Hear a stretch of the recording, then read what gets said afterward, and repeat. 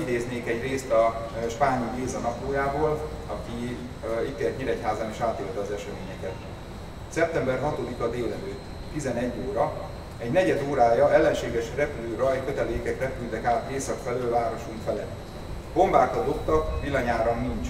Óriási füstfelhők és osztopok villanytelep irányában. Ma már csak ez az emléktábla jelzi, hogy 80 évvel ezelőtt milyen támadás érte a megye székhelyet, de a felmenők elmesélt történetei alapján, vagy a még közöttünk élők emlékezetében élénk a történelem. Nyíregyháza bombázása országos viszonylatban hál' Istennek nem volt nagy, tehát egy pár hónappal előtte a június másodikai debreceni bombázása sokkal nagyobb áldozatokat követelt, de ez nyilván Nyíregyházának és nekünk nyíregyháziaknak ez mégiscsak nagy érvágás volt, ugye majd, majdnem száz ember életét vesztette, illetve az állomás és környékén azért nagyon sok épület elpusztult.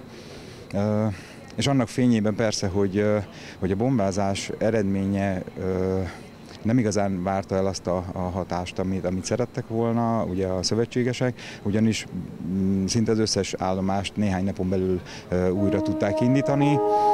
Ennek fényében nem biztos, hogy megérte a mi szemszögünkből, de azt is tudjuk, hogy egy, egy bombázásnak a, a lényege nem csak a, a, mondjuk a, megáll, az élet megállítása, hanem a moralizálás, és hogy, és hogy minél hamarabb véget érjen a háború. Mohács Endre felidézte 15 perc alatt három szakaszban az amerikai légierő jelentése szerint 1076 darab 250 kg-os romboló bombát oldottak ki. A három hullámban érkező bombák közül csak a második hullámban ledobottak értek lakott területet, de így is jelentős károkat okoztak és emberáldozatokat is követeltek. Leégett három emeletes épület, súlyosan megrongálódott 163 földszintes és 7 emeletes ház, könnyebben pedig 186 földszintes és egy emeletes épület.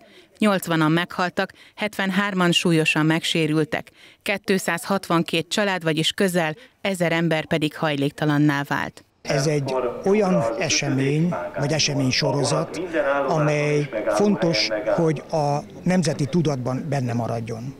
A háború az egy nagyon-nagyon rossz dolog.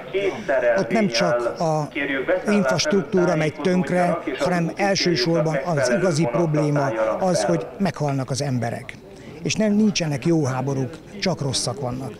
És emiatt mindenképpen mindig fel kell hívni a figyelmet arra, hogy a háború az nem jó dolog. És emlékeztetnünk kell az embereket, a gyerekeket, a fiatalokat, mert tudniuk kell, hogy a megoldások azok a konfliktusok, azokat békés úton kell megtárgyalni és megoldani. A megemlékezésen a meghívottak elhelyezték koszorúikat. A Szabolcs-Szatmár-Bereg vármegyei önkormányzat nevében minden évben itt vagyunk Nyíregyháza bombázásának az évfordulóján, és azt hiszem, hogy ebben a háborús helyzetben, úgyhogy a határainkon mellett háborúdul már évek óta, azt hiszem, hogy még fontosabb az, hogy azért olyan szörnyűségek itt Magyarország határain belül ne történjenek meg, és ezért nagyon fontos az, hogy az emlékezés mellett, a koszorúk elhelyezése mellett mindig felhívjuk a figyelmet arra, hogy az utánunk következő generációk már, akik nem élték meg ezt a borzalmat, az emlékeztetés által is mindig tudják azt, hogy mit kell megtenni azért, hogy ez ne következhessen be még egyszer.